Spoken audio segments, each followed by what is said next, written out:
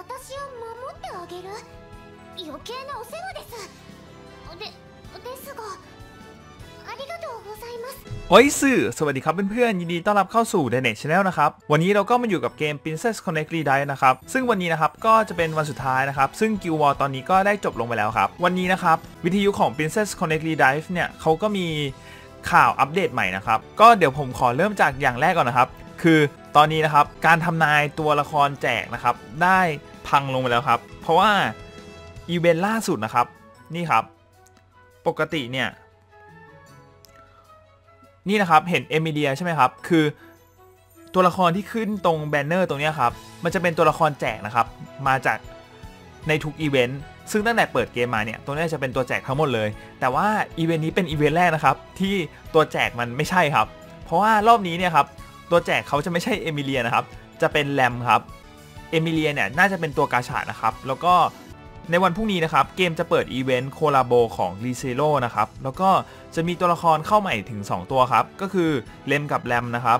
ซึ่งแรมเนี่ยเขาจะเป็นตัวแจก 1 ดาวนะครับ แล้วก็เรมเนี่ยจะเป็นตัวลงตู้กาชาเดี๋ยวเราจะมาดูความสามารถของแรมคร่าวๆก่อนนะครับ เขาจะเป็นตัวละครที่อยู่แถวกลางนะครับ แล้วก็ความสามารถที่เขียนไว้เนี่ยก็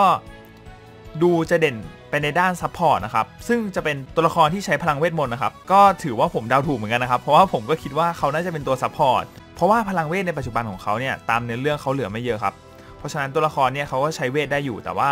จะใช้เวทได้ไม่เยอะมาก เพราะฉะนั้นก็เป็น support ครับซึ่ง skill คร่าวๆนะครับของแรมเนี่ยก็คือจะมี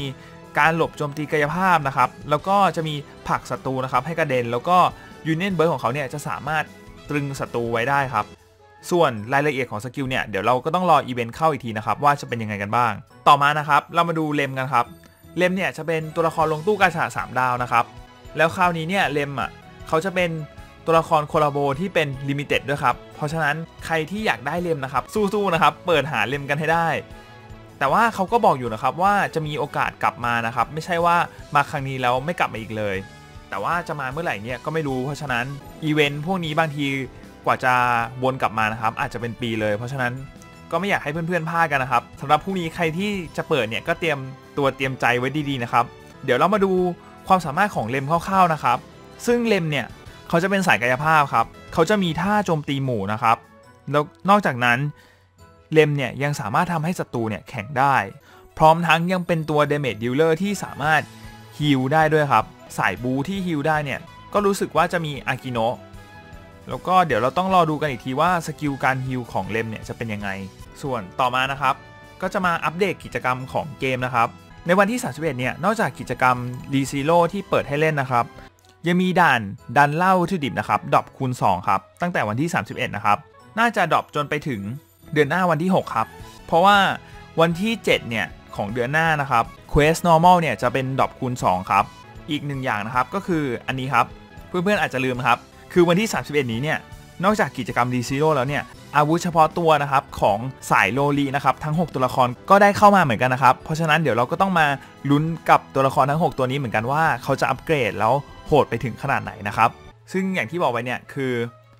ตัวละครที่น่ากลัวนะครับก็จะเป็นอิริยานะครับแล้วก็มิยาโกะเนี่ยผมว่า 2 ตัวนี้เนี่ยจะเถื่อนขึ้นอย่างมากเลยแล้วเคียวกะด้วยเหมือนกันนะครับเพราะว่าเคียวกะเนี่ยปัจจุบันเขาก็เก่งอยู่แล้วนะครับแต่ว่าตัวละครสายเวทมีให้เลือกมากขึ้นนะครับ แล้วเขายังไม่ได้รับการอัปเกรด แต่ว่าหลังจากที่ได้รับอาวุธเนี่ยผมคิดว่าเคียวกะน่าจะเป็นตัวเลือกแรก ๆ นะครับสำหรับทีม burst นะครับ เวลาลงพวก clan battle อะไรพวกนี้ ก็เดี๋ยวต้องรอดูกันอีกทีครับ ว่าจะเป็นยังไงนะครับ แต่สำหรับตัวผมเนี่ยผมก็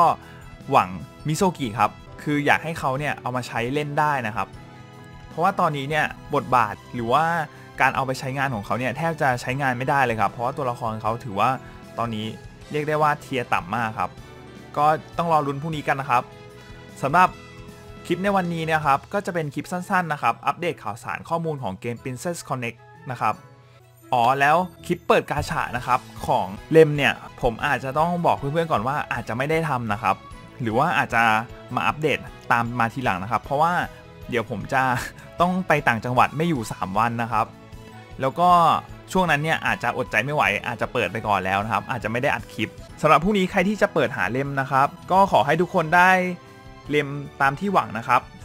สำหรับวันนี้ผมก็ต้องขอตัวลาไปก่อนครับ แล้วเดี๋ยวเจอกันใหม่คลิปต่อไปนะครับ สวัสดีครับ